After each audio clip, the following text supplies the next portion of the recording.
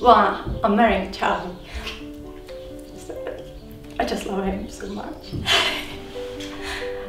he looks after me very well. Well, I just speak from the heart. You've done a brilliant job organising this wedding. It's going to be a lovely day, hopefully. He cooks for me. He makes lots of mess, which keeps me busy extremely. Obviously, enjoy the rest of my life with you. You know you love my life. Love you loads, babe. Missed.